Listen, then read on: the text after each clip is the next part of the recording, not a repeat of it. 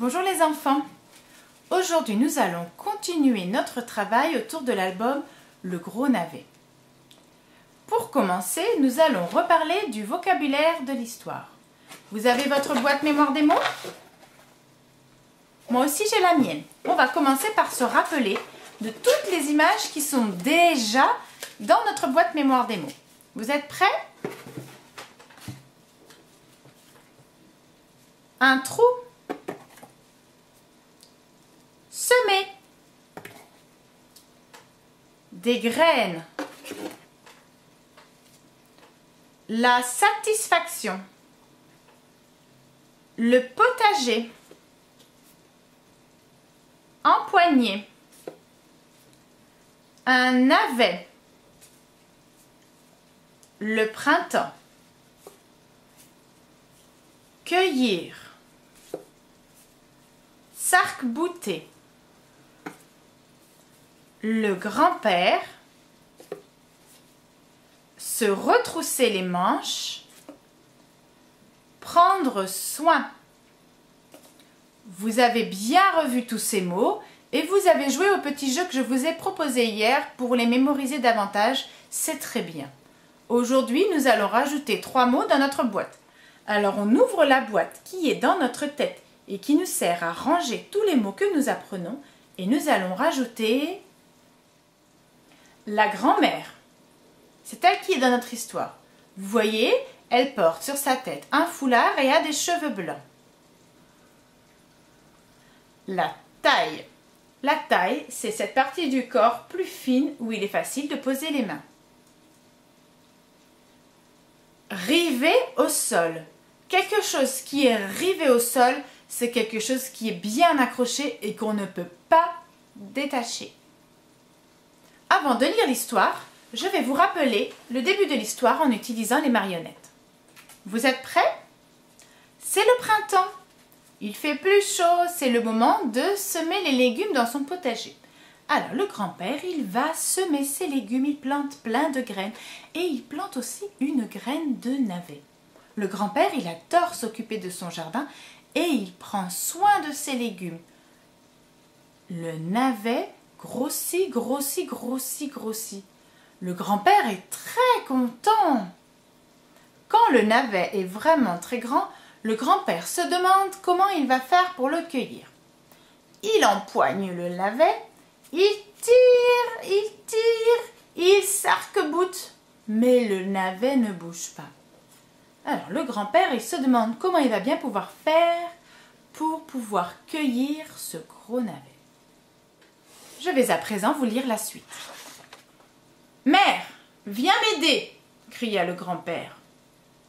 La grand-mère prit le grand-père par la taille.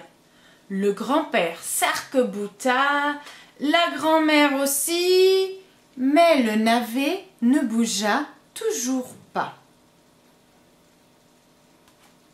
La grand-mère arrive, elle vient pour aider le grand-père. Elle s'attache à la taille du grand-père pour l'aider à tirer plus fort. Ils tirent, ils tirent, tous les deux, ils s'arc-boutent. Mais le navet ne bouge toujours pas. Alors, à votre avis, les enfants, qu'est-ce qu'on va voir sur l'image dans l'album à ce moment-là? Je vous rappelle que le but, c'est de se faire un film comme un dessin animé dans la tête et d'arriver à inventer les images.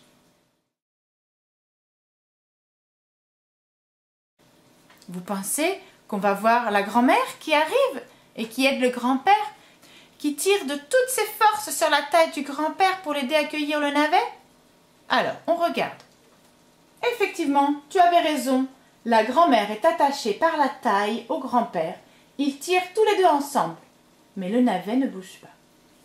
Je continue de lire la suite. Allons, on recommence plus fort, lance le grand-père.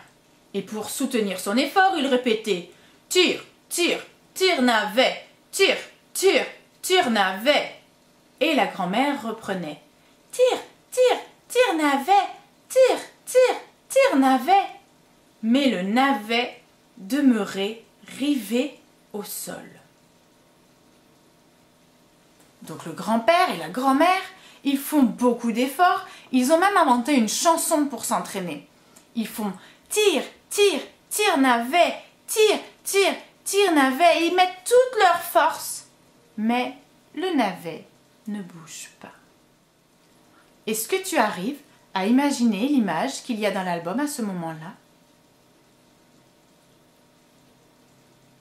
Tu penses qu'il y a le grand-père et la grand-mère qui tirent très fort, très fort sur le navet. Peut-être qu'on les voit chanter. Et puis le navet qui ne bouge pas. On va voir. Alors regarde, on voit qu'ils ont déjà arrêté de tirer. Regarde le grand-père. Tu vois comme il a l'air fatigué? Alors, à ton avis, à quoi pense le grand-père et la grand-mère à ce moment-là? Regarde, j'ai rajouté sur l'image les bulles de pensée. Tu penses qu'ils sont fatigués? Ils ne savent pas comment cueillir le navet? Oui, ils ont l'air inquiets, hein On a l'impression qu'ils ne savent vraiment pas comment s'en sortir. Peut-être ils vont avoir besoin d'encore un peu d'aide. Mais ça, on le découvrira la prochaine fois. Pour aujourd'hui, tu peux reprendre tes marionnettes et ensemble, on va essayer de raconter l'histoire. Aujourd'hui, tu as besoin de la marionnette du navet, de la marionnette du grand-père et maintenant, tu peux prendre la marionnette de la grand-mère que tes parents t'ont préparée. On raconte l'histoire? C'est le printemps. Il est temps de semer les légumes.